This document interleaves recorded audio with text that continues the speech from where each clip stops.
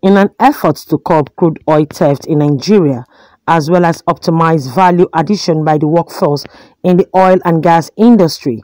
Stakeholders in the oil sector have called on federal government to strengthen the human capacity development of workers and ensure optimum security of oil pipeline area across the country. The former national president Petroleum and Natural Gas Senior Staff Association of Nigeria, Brown Ogbeifun, made his call at the Energy and Labour Summit organized by PENGASSAN in Abuja. He laments over the high level of oil theft which has resulted to several companies shutting down operations which has led to loss of jobs in oil and gas industry. Some major illegal trunk lines discovered recently by Tantita Security Services Limited a surveillance company, have recently also said that exposed that some of these pipelines have been there for between four to nine years. How about now? That is not spirit. They are physical.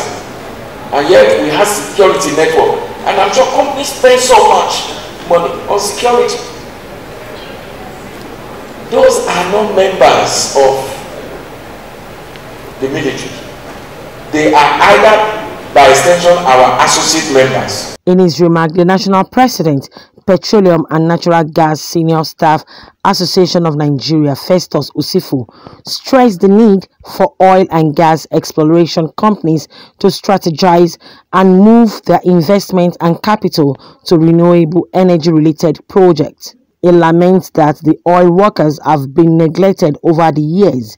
Hence, there is need to brainstorm on how to protect the workforce. To attract investment to the oil and gas industry has been a challenge and has been a problem. So, we must also call for a balance between energy security, investment, and also uh, the transition. Because if you don't invest today in the oil and gas, what that means is that the supply is going to reduce. And when the supply reduces and the demand is still relatively constant, the price is going to go up. So these are the current challenges the world over is facing. But in all these conversations, ladies and gentlemen, the most important asset has been left aside.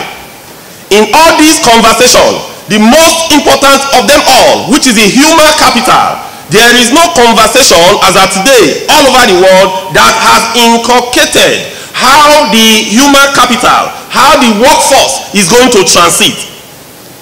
The plan as it is today, it's not necessarily an implementable format. A plan must have clear actions. Who are the people, the resources, the, how you are going to monitor them, when you are going to monitor them, and because it is an energy transition discussion, you should even bring it back to plenaries like this and play it back to the people because it is for all of us.